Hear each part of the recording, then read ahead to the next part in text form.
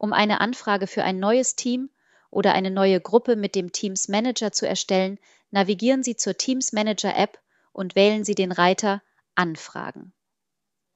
Um eine Anfrage zu stellen, klicken Sie auf Anfrage hinzufügen. Entscheiden Sie zunächst, welchen Gruppentyp Sie anfragen möchten.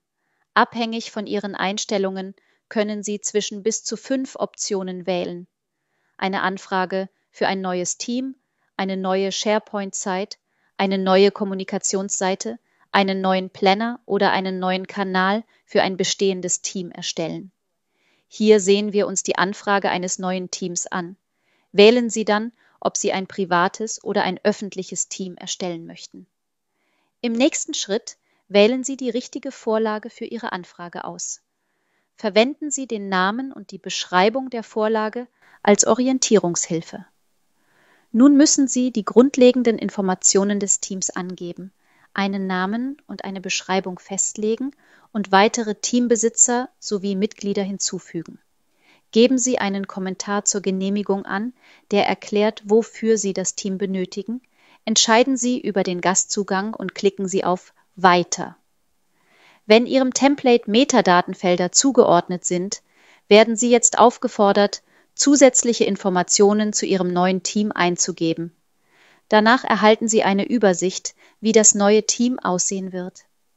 Beachten Sie, dass der Teamname und andere zusätzliche Einstellungen von einer Namenskonvention beeinflusst werden können. Überprüfen Sie alle Einstellungen und klicken Sie auf Weiter. Nachdem Sie eine Anfrage erstellt haben, erhält der Genehmiger eine Benachrichtigung von Teams Manager. Als Genehmiger erhalten Sie eine Übersicht über alle Teaminformationen und können bei Bedarf Änderungen vornehmen. Um eine Anfrage abzulehnen, müssen Sie einen Kommentar für den Anfragenden hinterlassen. Nachdem der Genehmiger auf Genehmigen geklickt hat, wird das neue Team erstellt. Die Anfrage ist damit erfolgreich genehmigt.